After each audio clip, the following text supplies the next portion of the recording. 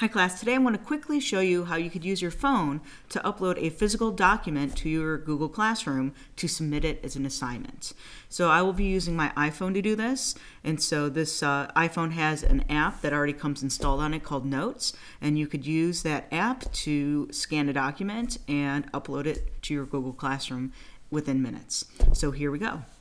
So what I'm going to do first is I'm going to open up my iPhone, and when I do that, I should have the apps, unless you moved it or deleted it somehow. There should be one called Notes. It's in my, my top right hand corner there.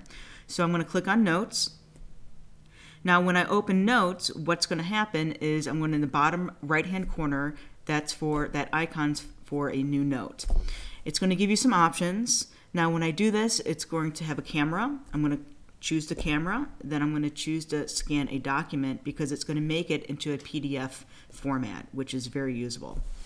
So I'm going to use my camera and hover over the document that I want. So I wrote on this paper. The cool thing is that it will actually find and focus the document for you and take it, especially if you have it on a contrasting background. And then let's say you have two sides. So flip it over and do the same thing. All right, looks good. Now, sometimes you may want to edit them. They usually come up pretty good with your first go, but let's say that you want to edit it and I only want to submit like part of this one page. So in the bottom left-hand corner, you could hit that to crop it and these four white circles will, will appear and you could drag them to the section that you actually want to crop. And so you can see I'm going to do the top half of this paper. These circles are not very user friendly. They're kind of difficult and annoying to use, but it gets the job done. So let's say that looks good to me. All right, that's the part I'm going to submit. So that looks good to me. And then I still have the second page in its entirety. And looks good. I'm going to hit done. Now after I hit done, I'm going to hit the bottom right hand corner where it says save to. Now when I do this, it will give you an option to name them, but the cool thing is that when it scanned it, it actually named it. It picks up the first words on the paper, so that's awesome. It's going to name this one the heart because that's what's in the top left-hand corner. And I'm going to hit the upload button in the top right, and I'm going to go find my Google Drive. And I'm going to choose the account that I want to upload it to. And there it is. It's called the heart, like I said. It got the name from it. If you want to rename it, you could tap on it and do so. And when I'm good, I'm going to hit upload.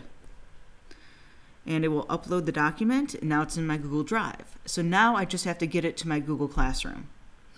So I'm going to go open up my Google Classroom directly from my phone, or you could go onto a laptop or a computer and do it through there. And when you do this, I'm going to hit Honors Bio, because that's what the class I have to submit it for. Hit Classwork in the bottom middle and then hit the assignment that you need to upload it to.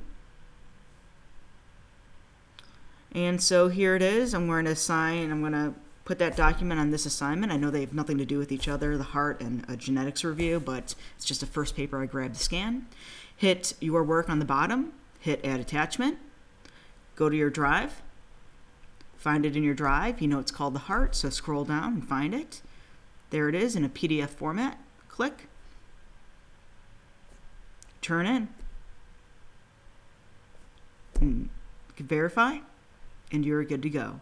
So that's how simple it could be to actually upload your physical document to your Google Classroom. Hopefully that was helpful. Thanks.